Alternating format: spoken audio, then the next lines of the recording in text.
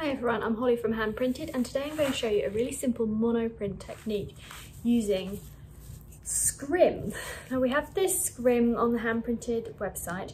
Usually you would use it for cleaning up intaglio plates before inking, but we're going to take a small piece of this and we're going to print with it so we can get all that lovely fibrous weave texture. Now we actually made this project for a blog a few years ago and um, it's been really popular. We always get lots of questions about it and we have it on Pinterest as well and it's one of our most popular um, pinned images is this printed. So I wanted to show you exactly how it's done. We're going to be using Akua Intaglio ink, piece of scrim, a plate and a roller. I'm also going to be printing it through the etching press to get the best detail. I'm going to print it onto Snowden paper. Here's how it's done. So here I have a glass slab. You can use a plastic inking plate if you like to roll out my ink. And I also have a sheet of Perspex. You can use a piece of dry point plastic and we sell it on the website if you want to. You just want a piece of smooth plastic. Now this is one we use for monoprinting a lot. So we already have a rectangle drawn on it, but you don't need to do that. We're going to mask off a rectangle section in the middle. So if you haven't got lines drawn, you can just place the plastic over the top of a cutting board or a grid or even just a template underneath to make sure it gets nice and square.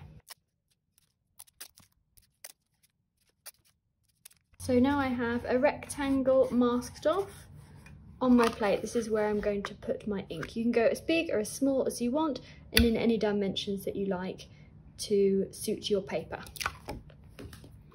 I'm using Akua Intaglio ink. This is a great ink for monoprinting because it's very workable.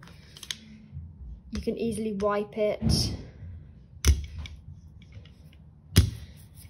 and get all sorts of texture into it. So it doesn't just have to be used for intaglio work. So here I have a nice evenly coated roller. I'm using a six inch Hawthorn roller, which has a little bit of softness, which makes it great for rolling out even layers of ink. And I'm going to fill in this area on my plate. Then remove my masking tape. And now I should have a nice evenly inked area, rectangle on my plate. You don't want it to be too wet and sticky, you just want a reasonably even area. It doesn't matter too much if it's not completely even, but a good coverage is perfect. So now I need to prep my piece of scrim.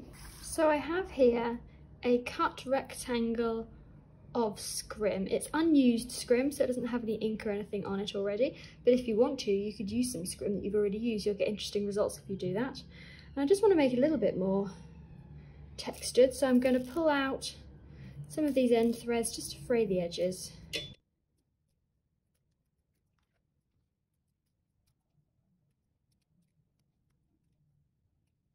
Okay, so it's, it's pretty tricky to see, but you can hopefully see there that I've frayed the edges all the way around. Now you can leave it like this if you want to, or you can rough it up a little bit more. I'm quite fond of the textured look, so I'm just gonna rough it up even more. Gonna pull at it to move those threads around. You can manipulate them. I'm gonna rough up my edges and, my, and more, even my corners, just to get extra texture in there, just to see what it can do.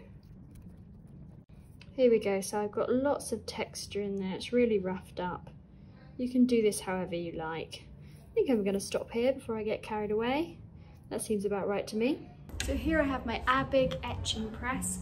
I've got it set up with a blanket and some sheets of newsprint underneath just to protect my blanket from any ink. My plastic goes down, ink side up. My scrim then lays on top Then I have a piece of dry Snowden A4 paper here.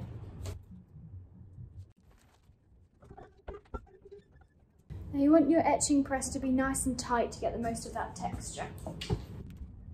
Okay, so this is the first print. What I've got here is the ink from the plate and then the scrim has been used as a mask.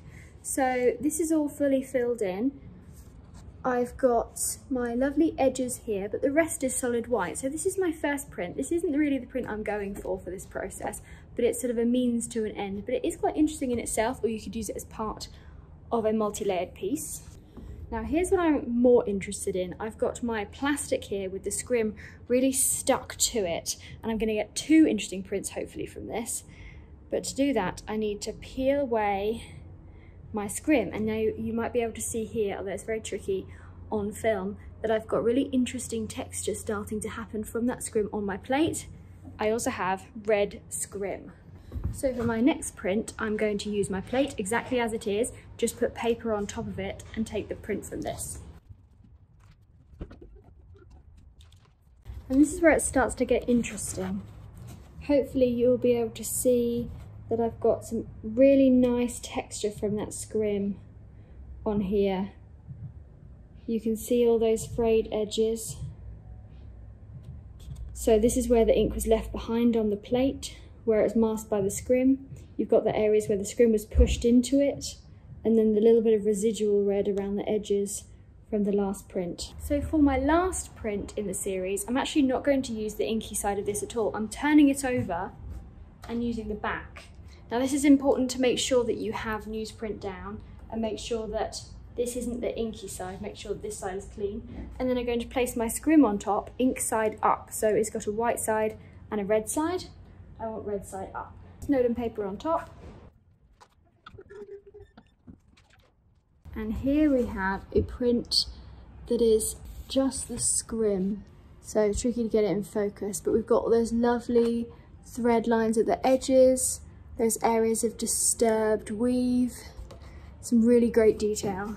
And just with that one inking, we end up with three prints, all from the same inking and the same piece of scrim. I think I like that one best, but they've got some really interesting texture there. Have a go at home. You can use all sorts of different textures as well. You don't have to stick to scrim, but it works really well inking it, inking your fabric up through the press against an inked plate. Then you can experiment with layering and all kinds of different textures. You can find the scrim, the presses, the paper, the ink, the inking plates, dry point plastic, all over at handprinted.co.uk. Happy printing!